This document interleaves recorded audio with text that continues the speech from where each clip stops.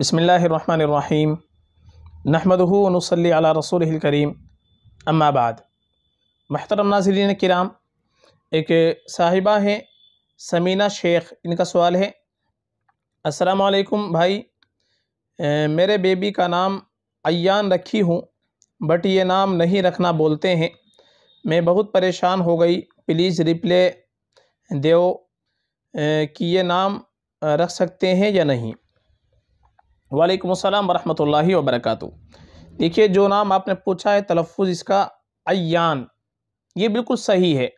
ये आइन के साथ हम लिखेंगे अयान तो हम नहीं लिखेंगे, अगर अलिफ़ के साथ हम इसको लिखेंगे अयान तो उसके मान आएँगे कब के, ये तो मुनासिब नहीं है। इसको हम अरबी ज़ुबान के अंदर पढ़ेंगे, आइन के साथ अयान आइन पर ज़बर, या पर तशरीद के साथ जो आपने लिखा है तो अयान अयान अगर हम ये पढ़ते हैं तो अयान के मान आएँगे कुशादा आँखों वाला। बड़ी आँखों वाला, कुशादा आँखों वाला। तो अयान नाम, माना के अतबार से ये अच्छा है।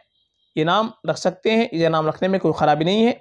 जो लोग ये नाम रखने को मना करते हैं, वो गलत है। वो अयान है, जो अयान नाम रखा जाता है आजकल, वो मुनासिब नहीं है। बाकी जो अयान आपने पूछा है, आइन के साथ और या पर तशरीद के साथ, इसके माना कुशादा आँखों वाले के आते हैं, ये नाम बिल्कुल रख सकते हैं। ये नाम रखने में कोई मसला नहीं है। आपने अपने बेटे का नाम रखा है तो सही है, ये नाम चेंज करने की ज़रूरत नहीं है।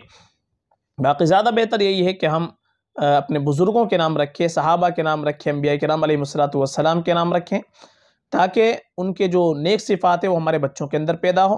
बेहतर यही है कि अच्छे नाम रखने की कोशिश करनी चाहिए। फ़कत वल्लम